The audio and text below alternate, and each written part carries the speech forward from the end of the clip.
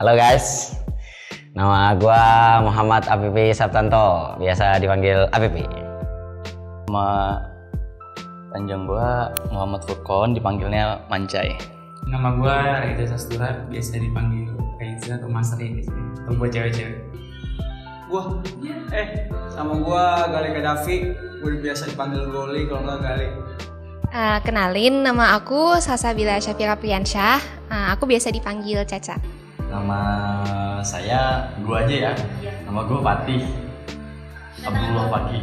Hai semua, nama aku Fatia Rizka, biasa dipanggil Rizka. Di Jakarta, pada aslinya gue itu orang eh, Jakarta Timur, orang eh, Kampung Melayu, orang Rawabangke. Kalau misalkan mau dikerucutkan lagi tuh orang Rawabangke, sekarang jadi Rawabunga namanya. Tapi sekarang eh, karena waktu itu gua eh, pesantrennya di Bekasi, jadi orang tua ikut juga pindah ke Bekasi. Kalau di Jakarta sendiri, saya bukan asli orang Jakarta. Aslinya Tangerang, Bintaro, sektor 3. Biasa gue di Kemang, tapi gue gak pernah dugem. Serius. Serius.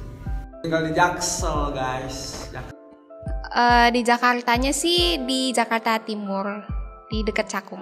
Jakarta bukan Jakarta sih Bekasi, Jakarta pinggiran. Perbatasan Jakarta sama Bekasi harapan indah. Axel, di Tebet, tau patung pancoran nggak? Nah itu.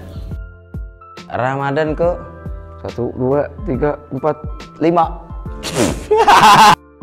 Sekarang Ramadan kedua, Kalau Ramadan ke berapa? Berarti kalau dari 2016 berapa tuh? 5 kali ya? 5 ya? Eh 7 Itulah pokoknya segitu loh Pokoknya dari 2016 lu hitungnya sendiri Ini Ramadan ketiga. Uh, ini Ramadan yang pertama kali. Ramadan kedua. Ramadan ke tiga. Kesan pertama ng- ngerasain Ramadan di Mesir yang pertama mungkin eh, pertama kali adalah eh, pasti jauh dari orang tua, jauh dari keluarga, apa-apa jadi sendiri. Kita buka puasa nyiapin sendiri, kita mau sahur kita siapin sendiri. Tapi ada baiknya juga, ada baiknya kita jadinya bisa lebih mandiri. Kesan pertamanya ya karena Ramadan tahun lalu di Mesir ya, pas banget lagi Covid. Ya jadi nggak ada kesan sama sekali. Jadi kita terawih di sini. Ya nggak ada euforia sendirilah buat memberikan kesan tersendiri gitu buat Ramadan di sini. Kesan pertama Berat sih Jauh dari yang kita sayang gitu ya Biasa aja garing ya. Gua kan biasa Ramadan di Indo kan nongkrong ya. Nongkrong gitu, buka puasa bersama ya kan, the road gitu. Cuman di sini nggak ada gitu, garing aja menurut kata gue sih. Hmm, kesan pertamanya uh, pasti beda banget sama Indonesia karena ini pertama kalinya Ramadan dan Lebaran itu nggak sama orang tua dan di sini tuh bener-bener nggak punya siapa-siapa. Ya jadi beda banget lah rasanya gitu. Ah, kesan pertama gimana ya? Karena emang kebetulan Qadarullah Ramadan yang saya rasain di sini ada pandemi ya. Jadi saya nggak ngerasa terlalu istimewa-istimewa banget sih. Cuman istimewa dan enggaknya Ramadan itu tergantung kita bagaimana. Gitu. Kalau misalkan kita memaksimalkan Ramadan kita ya berarti istimewa insya Allah. Gitu. Kalau kagak ya kagak. Kesan pertama pasti, waduh gila nggak ada yang nyiapin gua sahur, nggak ada yang nyiapin bukaan juga, harus masak sendiri. Kemudian ah, subuhnya jam 3, bukanya jam 7. Itu kita 16 jam ya berarti. Waduh itu panas banget kan. Bener-bener eh, struggle banget sih. So pasti paling sih pasti beli, eh, milihnya di Indo. Nggak mungkin milih di sini karena capek. Itu yang pertama, karena capek. Karena di Indo kita udah di pertama kita dekat sama keluarga lah. Terus kita juga nggak capek buka puasa.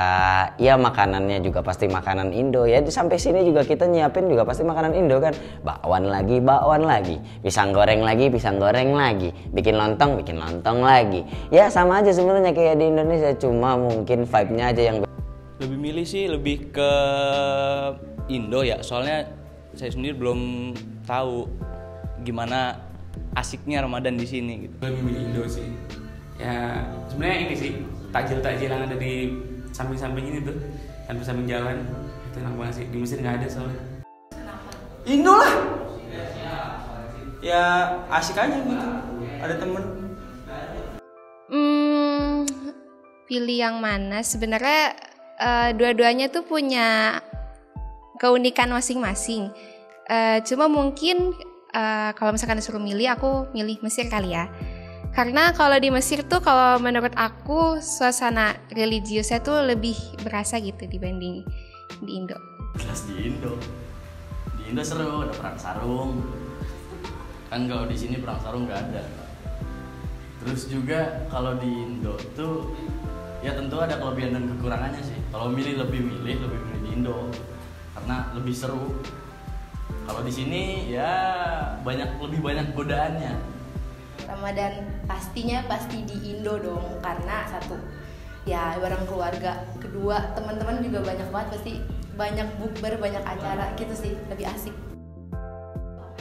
Hal yang paling menarik Ramadan di Mesir adalah Maidatur Rahman. Bas nggak ada hagah lain. Hal yang paling menarik, kayaknya semua orang tahu ya, Ramadan di Mesir tuh paling menarik adalah Maidatur Rahman yang ditunggu-tunggu. Hal yang paling menarik Ramadan di Mesir nggak ada istilahnya sabar di Ramadan. Orang semua berantem ya emang. Nah, itu. Hal menarik ya lebih ini sih lebih rame aja di sini sebenarnya. Kayak di jalan-jalan tuh banyak lampu-lampu gitu dihias-hias. Sebenarnya menariknya Ramadan itu kalau misalkan kita ngerasa Ramadan sekarang lebih baik daripada Ramadan kemarin. Cuman karena yang saya rasa sama aja, jadi nggak ada yang menarik. Ya, semoga menjadi lebih baik dari tahun lalu. Kangen Indo. Eh, biasalah Hmm, apa ya? Bagus lah. satu kata untuk Ramadan tahun ini tuh berkesan karena karena tahun lalu itu kan gua di asrama gua lockdown jadi tahun ini baru ngerasain lagi ibaratnya menghirup udara bebas lagi gitu Ramadan, Ramadan, Ramadan itu Habib gitu. Ramadan tahun depan semoga bisa balik ke Indo dan berkumpul sama keluarga. Covid udah nggak ada lah ya. Gue pengen ngumpul-ngumpul lagi. Itu doang sih. ya lebih ini aja sih lebih fokus ibadah gitu soalnya tahun ini tuh gua fokus organisasi jadi kadang tarawehnya bolong-bolong terus ya kadang sholat subuhnya telat gitu itu aja sih mas Semoga Ramadan tahun depan harapannya semoga masih bisa ketemu Ramadan tahun depan dan semoga bisa eh, mempergunakan Ramadan dengan lebih baik di tahun depan. Ramadan tahun depan semoga ya pastinya lebih baik lah. Lebih baik dari segi ibadahnya, dari segi amaliyahnya, dari segi ya amaliyah dan ibadahnya aja paling.